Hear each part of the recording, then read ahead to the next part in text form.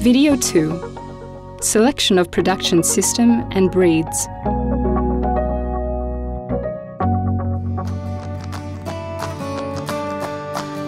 This video is part of a series developed for the Sustainable Wildlife Management Program to provide guidance for a successful family poultry production.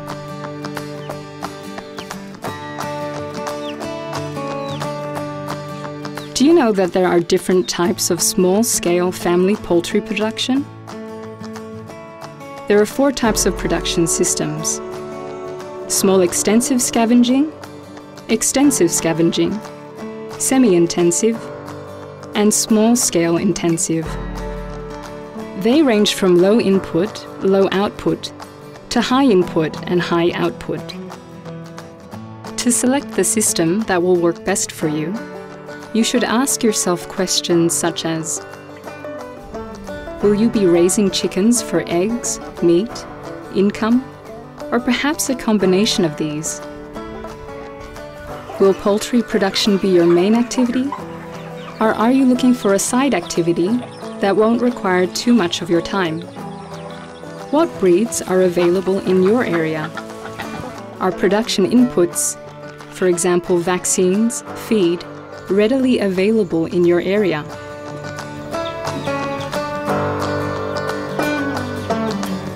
In small extensive scavenging systems, the chickens can roam freely during the day and little or no supplemental feed is provided.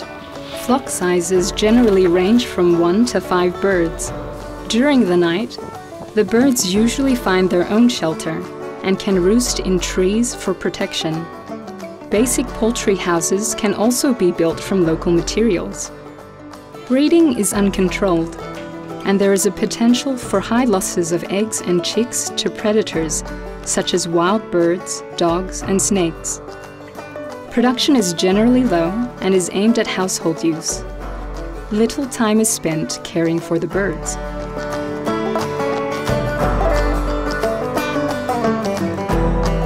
In extensive scavenging systems, poultry scavenge and roam about freely during the day, and when night comes, they are kept confined to an enclosure.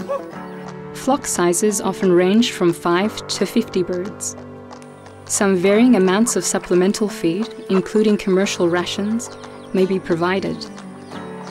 Higher levels of production can be achieved than in small extensive systems due to larger flocks and can satisfy household demand, and even occasionally providing an income when there is a surplus.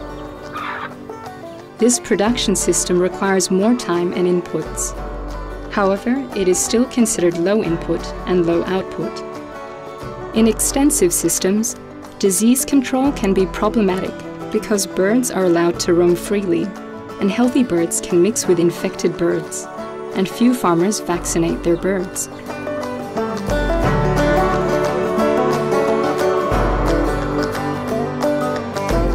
In semi-intensive production systems, the birds are confined indoor most of the day, or confined to a yard with limited scavenging.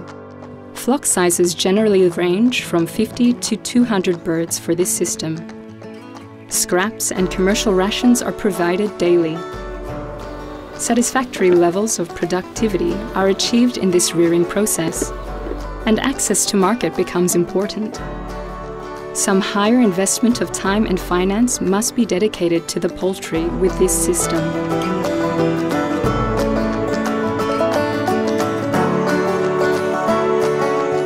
Finally, in small-scale intensive production systems, poultry are kept completely confined in specially constructed enclosures and fed entirely on balanced commercial rations.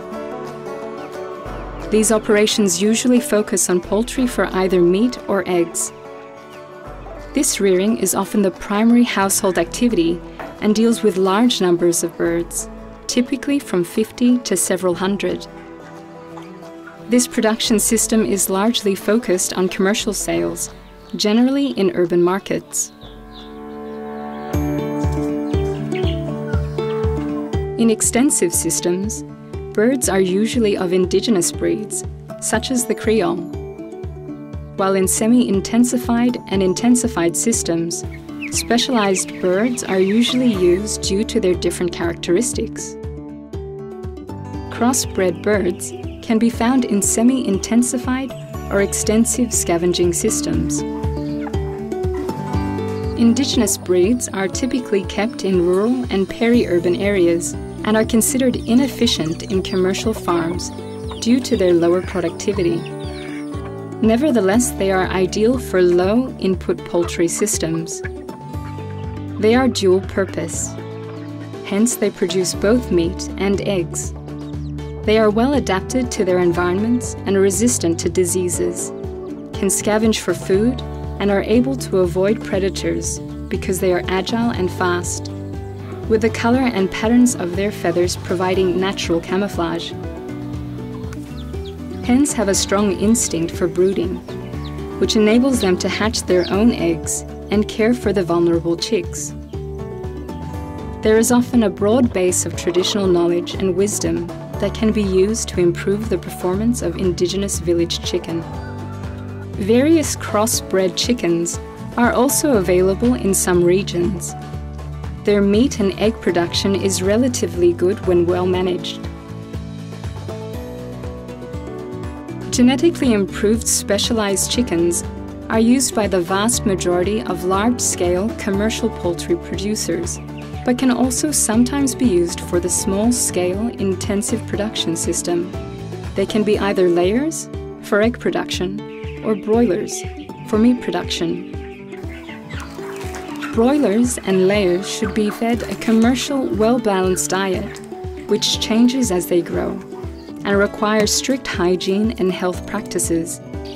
It is important to understand that for these improved chickens, Chicks should be bought from or at a professional hatchery each time a new flock is needed. Indeed, improved hens have lost the ability to go broody, and the offspring will lose some of the specific qualities after one or two generations.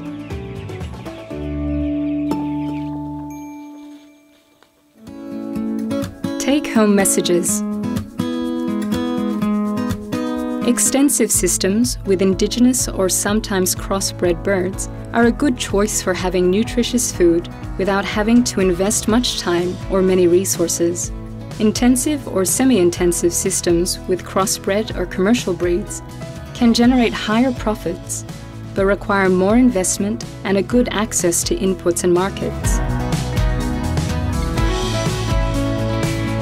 In the other videos of this series, you will learn more about how to manage the different chicken breeds in the different family poultry systems, with a focus on extensive scavenging systems.